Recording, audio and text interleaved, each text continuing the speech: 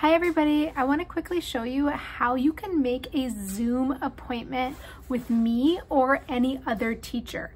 Because if you need to talk to me but you can't come to the specialist office hours, you can make an appointment with me. The only thing is you need to make sure that you do it in advance enough that I will see the email and make sure that I'm able to be there.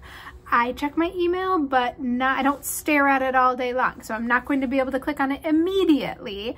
But um, if you schedule it an hour or two hours away or tomorrow or something, I will be able to get to it and I can help you with whatever your question is. So go into your Google Calendar. I got here by clicking on the app launcher and choosing calendar.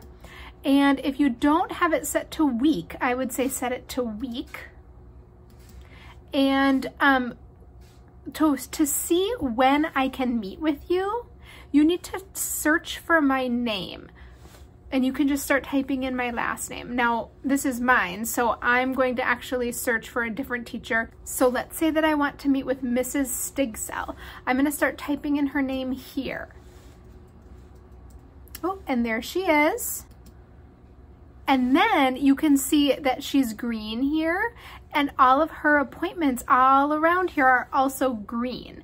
So I can see when she doesn't have a green appointment that she's available. So I'm not going to choose a time that is right now, even though she has availability right now, because she's not necessarily going to see it immediately. So I need to go like at least an hour after now, which let's see if we could maybe meet with her at maybe after this time, but that's getting kind of late in the day.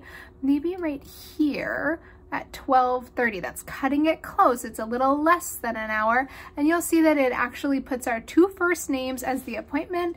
And I'm going to just write, I would like to talk to you about, and say what you would like to talk to her about. And then here's the tricky thing. Down, down, down, down where it says join with Google Meet. Okay, you saw that I had to click the X, X out the join with Google Meet, click the arrow down, and click on the Zoom meeting. Now it might prompt you to sign into Zoom and just sign into Zoom and it'll work. Then your Zoom will come up here. So now our Zoom meeting is right there and I go here to save. Once it's saved, it will be on both your calendar and the other person's calendar. I don't actually want to meet with Mrs. Stigsell at this time, so I'm not going to confuse her and say save. Discard.